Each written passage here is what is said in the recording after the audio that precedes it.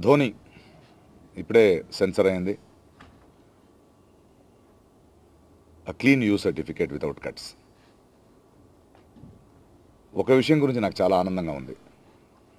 ఒక దర్శకుడిగా ఒక సినిమా తీయడం మన మధ్య ఉన్న ఒక పెద్ద సమస్య గురించి సినిమా తీయడం మిడిల్ క్లాస్ లైఫ్ గురించి సినిమా తీయడం.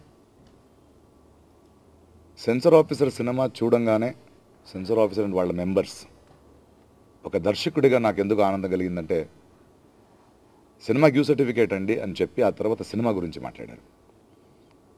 ఇది ప్రతి ఇంట్లో జరిగే సమస్య మా ఇంట్లో జరిగే సమస్య. ఒక్కొక్క మెంబరు వాళ్ళ పిల్లల గురించి వాళ్ళ జీవితం గురించి ఇవాళ ఉన్న ఎడ్యుకేషన్ సిస్టమ్ గురించి మాట్లాడుతున్నాడు చెప్తు చూస్తుంటే నేను తీసిన సినిమా రీచ్ అయిందని తెలిసిపోయింది నాకు. ఆమె ఆఖరికి ఒకే మాట అనింది ఒక తారే జమీన్ పర్ ఒక త్రీ ఇడియట్స్ లాంటి సినిమాలు చూసాం. అవన్నిటికన్నా straight and honest film it will reach the people. మీరేం బాధపడకండి. ఇలాంటి సినిమాలు బాధ్యత గల సినిమాలు. ఎప్పుడో మీరు చెప్పారు బాధ్యత గల సినిమాలు తీయాలి తెలుగు సినిమా మంచి సినిమా రావాలి రాష్ట్రం నుంచి తిరిగి చూడాల్సిన ఒక సినిమా చూడాలని అన్న- తీయాలన్నారు. అది చేసి చూపించారన్నారు మీతో ఇది షేర్ చేసుకుంటున్నాను. చాలా ఆనందంగా ఉంది నాకు. ఎందుకంటే దేవర్ the first audience.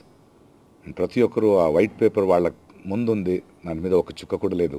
They just set we have nothing else to do it ఈ అనుభవం నాకు మొన్న చెన్నైలో జరిగింది. ఆ తర్వాత సెంట్రల్ బోర్డ్ ఆఫ్ సర్టిఫికేట్ ఆమె లీలా శాంసన్ గారు ఈ సినిమా గురించి విని నేను ఒకసారి చూస్తానని తను కూడా మొన్న చూసింది. వీళ్ళందరూ చెప్పింది అంతే this is a film which is a need of the hour this is a film ప్రేక్షకులు ఖచ్చితంగా చూస్తారు. కళ్ళు తెరిపించారు. And you really talked about the issue అని. And I'm very happy to start my innings as a director ఎన్ని రోజులు ఈ మాట చెప్పలేదు బట్ ఇవాళ నా first audiences whether my censor boards and few people who have seen the film వాళ్ళు చెప్తున్నప్పుడే ధైర్యం ఎక్కువైంది నా నమ్మకం నిజమవుతోంది. డెఫినెట్గా మీరు కూడా ఈ సినిమాని చూసిన ఒక పద పదో తారీఖు release we're releasing it on February tenth చూసిన తర్వాత మీరు ఆ సంతోషాన్ని నాతో నాకు ఇస్తారని నాకు నమ్ముతున్నాను.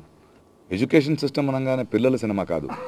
ఎడ్యుకేషన్ సిస్టమ్ అంటే ఇవాళ మనం ఎందుకు ఇంత కష్టపడుతున్నాం? చదువు ఎందుకు ఇంత భారం అవుతుందంటే అదేదో ఒక శిక్షణ వ్యవస్థ వల్ల కాదు. దాని గురించి మాకున్న అవగాహన వల్ల. ఒక మిడిల్ క్లాస్ తల్లిదండ్రులు వాళ్ళకి ఆ అవగాహన లేదు పిల్లలకు అవగాహన లేదు సిస్టమ్కి అవగాహన లేదు కాబట్టి we're trying to meet ends meet మనం సంపాదిస్తున్న డబ్బు మాకు సరిపోవట్లేదు మన జీతాలు మనకు సరిపోవట్లేదు మన సమయం వ్యర్థమవుతోంది దేని మీద పెట్టాలని తెలియట్లేదు. ప్రతి ఒక్కరికి ఒక సిస్టమ్ ప్రెషర్ ఇస్తూ ఇస్తూ ఆ ప్రెషర్ వల్ల రిలేషన్షిప్స్ మారుతున్నాయి. ఒకరి మీద ఒకరు ఆ ప్రెషర్ని ఇంకొకరి మీద మో మోయమని చెప్తున్నాం. This is a film which discusses about ఎందుకంటే నాకు ఈ సిస్టమ్ వల్ల పిల్లలు కాదు victim parents are victim teachers are victim we're the victims దీని గురించి ఒక కథ. దీని గురించి మన మన ఇంట్లో జరిగే కథ. ప్రతి ఇంట్లో ప్రతి రోజు జరిగే కథ ఇది.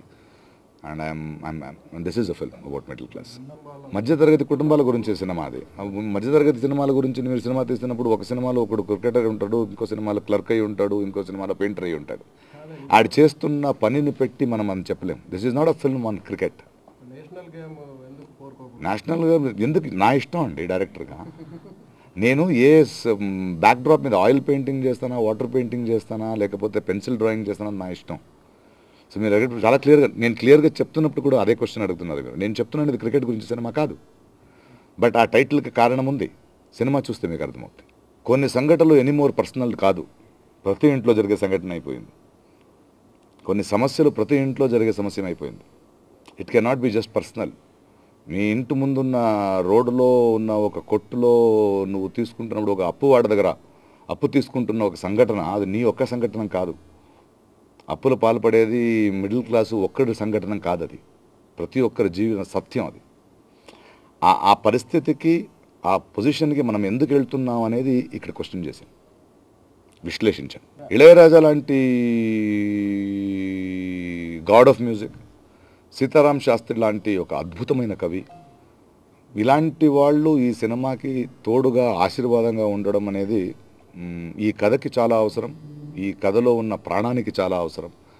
అండ్ వాళ్ళు సామాన్యులు కాదు. నా కథ వాళ్ళకి చెప్పంగానే వాళ్ళు దానికి స్పందించారు. ఎలా ఏ రేంజ్లో స్పందించారంటే రీసెంట్లో ఆడియో రిలీజ్లో మీరు చూశారు.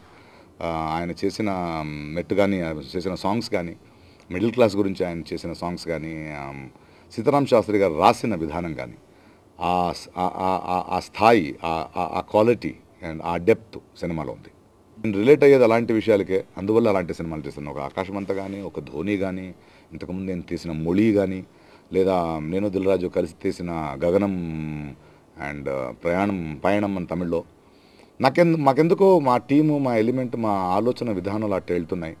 అలాంటి సినిమాలే తీయగలుగుతున్నాం. ప్రభుదేవ ఈ సినిమాకి ఎందుకు వచ్చారంటే అది ఒక మిడిల్ క్లాస్ని సెలబ్రేట్ చేసే ఒక సాంగ్. రాజా గారు నాకు మ్యూజిక్ వేయంగానే అది మోర్ జంపీగా అండ్ మోర్ లిప్ సాంగ్లా ఉంది. అది ఒక మాంటాజ్ సాంగ్లా తీయలేకపోతాను పోయాను. శాస్త్రి గారు రాసిన పాటలు కూడా అలాగే ఉంది. ఎవరో ఒకరు పాడాలి ఎవరో ఒకరు రిప్రజెంట్ చేయాలి.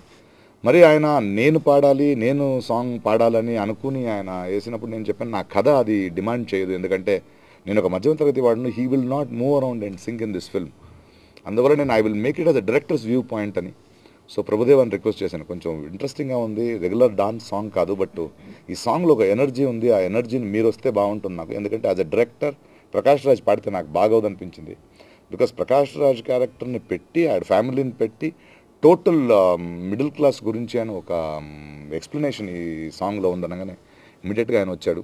అండ్ uh, చూశారు మీరు ఆ సాంగ్ అండ్ చూడబోతున్నారు ప్రేక్షకులు. And it is a very different song ఒక విషయం మాత్రం ఇందులో డైలాగులు అంటే మీరు నేను ఉన్నట్టు ఉంటుంది. ఎందుకంటే ఇప్పుడు ఒక ఎడ్యుకేషన్ సిస్టమ్ గురించి క్వశ్చన్స్ అడగాలి ప్రశ్నలు అడగాలి. ఇప్పుడు నేను నా నా- నా నా- నా ప్లేస్ నుంచి చూస్తే నాకు క్లారిటీ ఉంటుంది ఎడ్యుకేషన్ సిస్టమ్ గురించి. బట్ కథలో ఉన్న పాత్రకి ఆ క్లారిటీ ఉండదు కదా. ఎందుకంటే అప్పుడే ఆ పెయిన్లో తిరుగుతున్నాడు. సో వాడి మాట అందులోనే ఉంటుంది. ఆడికి క్వశ్చన్స్ ఉంటుంది వాడిలో అసహాయకత ఉంటుంది. వాడు వాడు అడిగే ప్రశ్నలు మనం అందరిలో ఉన్న ప్రశ్నలుగా ఉంటాయి. దానికి ఆన్సర్లు లేవు. ఆ వెతికే ఒక ఒక క్యారెక్టరైజేషన్స్ డైలాగ్స్లో ఉంటాయి మీకు సినిమాలు. విజువలీ కూడా ఈ సినిమాని చూస్తే నేను జిమ్మి జిప్ యూస్ చేయలేదు. ఎందుకు జిమ్మి జిప్ ఏంటంటే ఈ సినిమాకి జిమ్మి జిప్ లేదు. ఎందుకంటే ఆడున్న ఇల్లులో జిమ్మి జిప్ ఎక్కడ పెడతాను నేను? సో నాకు టోటలీ గుహన్ లాంటి ఒక సినిమాటోగ్రఫర్ని పెట్టుకొని నాకు I want to do the framings of this film wherein it is middle class అది ఒక టెన్ బై ఫిఫ్టీన్ రూమ్ ఉంటే టెన్ బై ఫిఫ్టీన్ రూమ్లో నన్ను ఈ షార్ట్స్లు తీయాలి. దానికోసం నేను సెట్ వేయలేను ఈ సినిమా. ఈ సినిమా సెట్ వేస్తే అయ్యే సినిమా కాదు. ఒక గవర్నమెంట్ ఆఫీసు ఈడు క్లర్క్ పనిచేస్తున్నాడంటే ఒక చిన్న రూమ్లో పదిహేను టేబుల్స్ ఉంటాయి. అన్ని వంద ఫైల్స్లు ఉంటాయి. జనాలు వస్తూ వెళ్తూ ఉంటారు కదా రిజిస్టర్ ఆఫీస్కి వెళ్తే. ఆ క్రౌడ్ మధ్యలోనే ఆయన తీయాలి కానీ సపరేట్గా ఆడ క్లోజప్లో ఎవరు మూవ్ అవ్వకుండా ఒక నటుడు డైలాగ్ చేస్తే ఇంకెవడు మాట్లాడకుండా లే కాదు. It is going to be overlap it was very it's a very interesting thing and probably నా అనుభవం ఇన్ని ఇన్ని సంవత్సరాల అనుభవంతో తీసిన సినిమా. అండ్ uh, చాలా హానెస్ట్గా ఉండాలని తీసిన సినిమా. మీరు ఆ అన్ని డిఫరెన్సెస్ని ఈ సినిమాలు చూస్తారు. నాకు తెలిసి ఈ సినిమా నుంచి థియేటర్ నుంచి బయట రాగానే వస్తూనే ఫస్ట్ వాళ్ళు వాళ్ళని వాళ్ళు చూసుకుంటారు అనుకుంటాను ఒక క్షణం మనం మనం మనమే కదా ఈ సినిమా మన జీవితంలో జరిగే విషయాలే కదా. ఈ క్వశ్చన్స్ మనలో ఉంది కదా ఎందుకు ఇన్ని క్వశ్చన్స్ మనం అడగలేదు? మా పిల్లల్ని మేము ఎలా చూడాలి ఇప్పుడు? ఎవరైనా ఒకరు మన మీద వేస్తున్న ప్రెషర్ని ఇప్పుడు ఎలా ఎదుర్కోవాలి? ఇలాంటి ఒక ఒక ఒక ఆక్రోషంతోనే వస్తారు థియేటర్ నుంచి బయట ధోని క్యాచీగా ఉంది. థియేటర్కి రప్పిస్తుందన్న నమ్మకం నాకుంది. దాని తర్వాత సినిమా గెలుస్తుంది.